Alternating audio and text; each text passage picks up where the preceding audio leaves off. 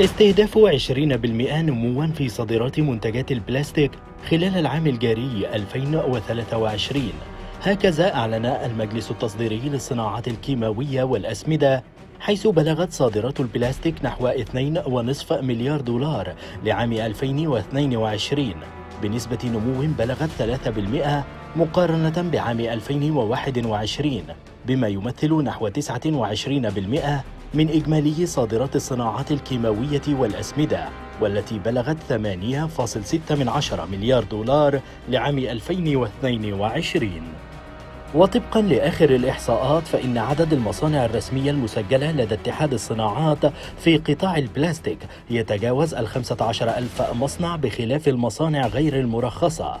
كما اتسعت صادرات القطاع لتشمل 164 دولة حول العالم وتعد تركيا وإيطاليا وبلجيكا وإسبانيا وأمريكا والجزائر والعراق من أكثر الدول استقبالا لصادرات القطاع. وتحتل مصر المركز الأربعين بين الدول المصدرة للبلاستيك ومنتجاته على مستوى العالم طبقا لبيانات عام 2021 ومن المتوقع أن يزيد الطلب على تلك المنتجات بنسبة 10% سنويا خلال السنوات القادمة. من مصر طارق أحمد.